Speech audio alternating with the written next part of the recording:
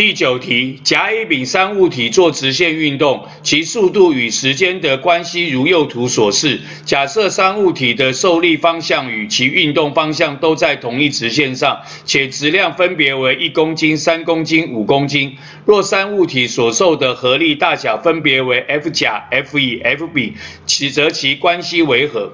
如果这一题三个物体的质量都相同，我们可以单纯的从 VT 图的加速度看出来谁的受力比较大。但是这里质量不一样，所以我们就必须要第一个要算出我们的加速度。我们说 VT 图直线求加速度，直线需要两个点，两个点带进去 A 等于 delta t delta v 求加速度，然后呢再带进去我们的 F 等于 ma 呢去求受力。那我们的甲，呃，我们的零秒的时候是零，三秒的时候是十二，所以呢它的加速度是四。那么 F 等于 ma 甲一公斤乘以加速度四，所以它受力是四牛顿。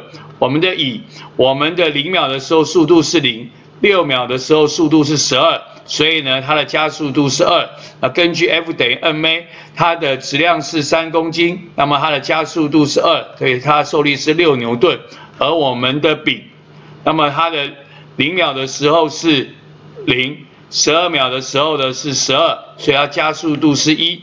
那么代入 F 等于 ma，它的质量是五公斤重，那么加速度是一，所以是五牛顿。因此我们发现我们的受力大小呢是乙大于丙大于甲。